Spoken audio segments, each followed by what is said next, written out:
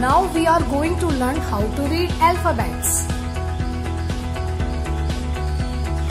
A for apple. B for ball. C for cat. D for dog. E for